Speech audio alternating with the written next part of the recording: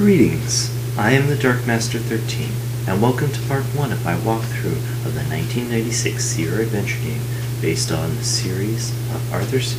Clarke and Gentry Lee, Rama. The story of the game itself is based on the events and characters of Rama 2 as if the first book in the series had not occurred. Exactly what's going on on Earth is never really explained, but that doesn't really matter anyway.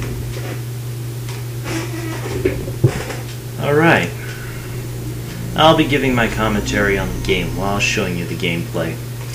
If you want to see the raw footage, check out T-Lancer129's YouTube channel. When I first played this game, I was uh, pretty young, and this seems to scare me quite a bit. Though, eventually I got used to it, and it had a tendency more to get me all riled up and excited for when the game actually started. Some of the songs in this do rather have that effect on you. So let's go right ahead and start a new game. And your shuttle takes off from who knows where. Apparently it's pretty easy to get to the space station from wherever you were. Four years ago, a gigantic cylindrical spaceship of unknown origin was discovered hurtling toward our sun. The International Space Agency decided to mount an expedition Really important backstory going on right here. Well, And of course, you never really figure out what's going on here anyway. with the alien ship named Rama. because they ran out of all the other words in Christian, Greek, and I believe even Norse mythology. Hmm. And those of you familiar with this series will know, of course, that uh, Gentry Lee was the one who largely programmed this, or wrote this part of the story. Only getting tips from Arthur. Its initial sortie into the dark and hollow interior of Rama. Astronaut Commander Valery Borzov mysteriously died following a routine medical procedure. You are to You find out later exactly The why. mission commander, Dr. David Brown, will give you specific assignments. But your general mission is straightforward. Explore Rama. Discover as much as you can about the origin and purpose of this intruder from the stars. And you never really do. Hi, bonjour. I am Nicole Desjardins, the medical officer. I hope that your shuttle ride over was uneventful. For all of us here, I would like to welcome you to Rama and let you know that we pretty really need your help. in the story. This is the hub site. Your ARM computer She's should also be the located human in your locker most often over in there. the, sto- in the game. As. I'm sure you know, it is our most critical piece of equipment. You'll need it to read all the data cubes and the crew member vidmail. She's right. Speaking of vidmail, the hub site computer against that wall contains introductory vidmail for you from each of the other crew members. They're all eager to say In this introductory vidmail, I will I not be showing you in the walkthrough. things. That'll be in the It's really first bonus video that I this post. cylinder, which makes the work a little bit more difficult, but we're all getting used to it. Meanwhile, everyone else is busy working inside Rama, installing the remaining This infrastructure area and itself is called the uh, hub camp. You can hear that now, quite a bit. the cable car In any case, most of the stuff you see here is made out of humans, for a while, or made by humans, You can check out except for the floor, which is equipment, alien. And then come and join us. Au revoir.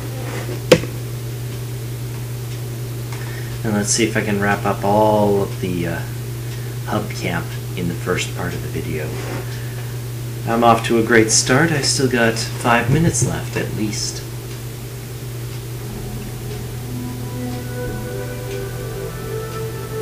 This game also has some great music, so I'll just take a quick look around.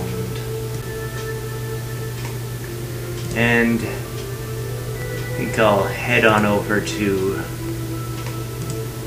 my locker and get the first piece of equipment I need. My Swiss Army knife and my computer. Pretty important. And of course somebody gets to annoy me pretty soon because I picked that up.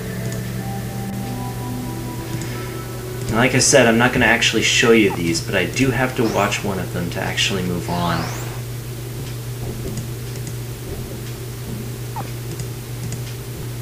So we'll just skip through that for now, and I'll get back to this as soon as Oh, and now it's time to see your first day. Oh no, I gotta get a message from somebody. I told you they were gonna annoy me soon.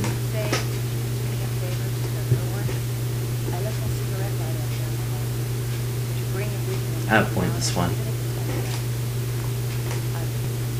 You can do that for her, but it doesn't really do anything. Now you get to see your first witness of an alien.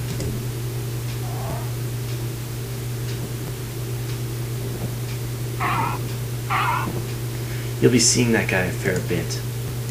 Or girl, or whatever. Probably an alien of some kind. Now that uh, vidmail I just watched on the computer tells me about my little guide that's going to be inside Wakefield's locker, so I'll just get him now. Yes, indeed, I'm Puck. Your Puck. I was More like your voice, your interactive force with the but not your world. Because you are a faceless, nameless, gender ambiguous. An adventurer far whatever. more than your average. I've been programmed. I'm just gonna go ahead and skip the rest of this uh, little introduction for him.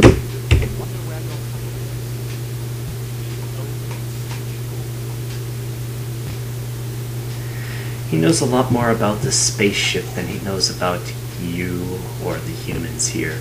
And you just heard the uh, cable car come back up. But first, we got one more interesting thing to deal with. Remember, she said she wanted us to get her cigarette later? That's a tip that she left her key down here, but she left it on something interesting. International Nuclear Agency. Not armed. Inactive. I'll just go ahead and take her key off the side. It was just sitting right there. And with that, I can get into her locker. That was real smart, real secure of you just to leave that lying around. Let's take the important stuff and leave behind the useless stuff.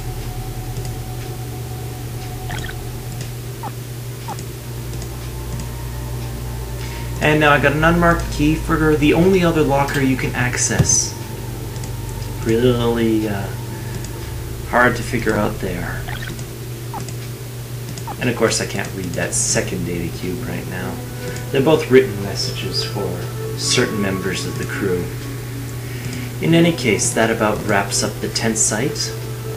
That other critical message on the computer tells you what the passcode is for this uh, cable car. 4143. Took me a long time to figure that one out. In any case, let's go right ahead and watch one of my favorite parts of the start of the game.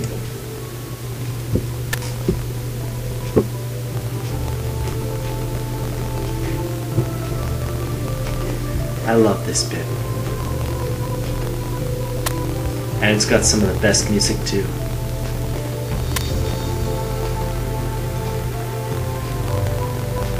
It's also the only time you ever see yourself, but you're really just a shadow.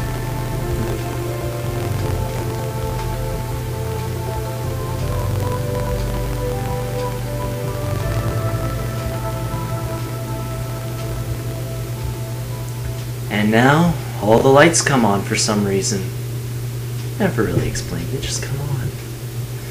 In any case, that concludes the uh, part one of this uh, video. I'll be ending it here.